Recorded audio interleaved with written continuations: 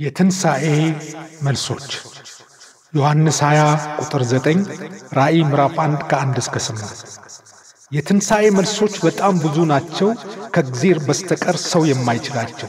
ምላሽ የሚፈልግ ጥያቄ መጣና ኢየሱስ ተገኘ፣ የጎልጎታ ጀግና።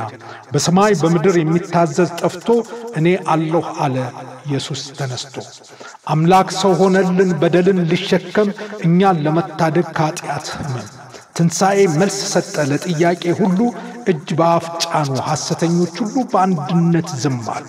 የመቃብር ድንጋይ ቀብሩ ላይ ተጭኖ ያለ መሰላቸው በጨርቅ ተጀቡኖ በአምላክነቱ ሄደ ሲኦል ገባ ከአዳም ጀምሮ ገነት ሊያስገባ የሲኦል መክፈቻ ቁልፉን ተረከበ በእስር ያሉትን ፈቶ አስረከበ። ዛሬም በዚህ ላሉት እግዚአብሔር የሚለው ታመኑብኝ እንጂ ስጋቱ ምንድን ነው? ማርያም መግደላዊት በደኑን ልትቀባ ሽቶ ብታመጣ መቃብር አልያዘው እርሱ ቀድሞ ወጣ።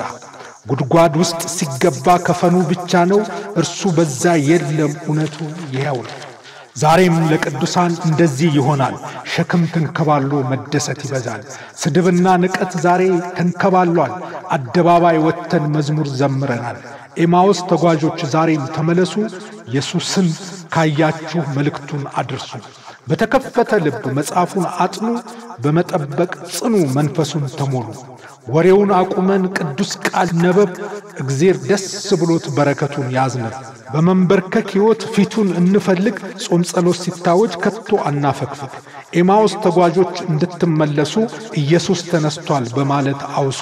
ይህንን ሲያወጉ ኢየሱስ ተገልጦ ቁስሉን አሳያቸው፣ በመካከል ቆሞ ሰላሙን ሰጣቸው። ሞትን ድል አድራጊ ኢየሱስ ብቻ ነው፣ የትንሣኤው ጌታ እርሱ ኤልሻዳይ ነው።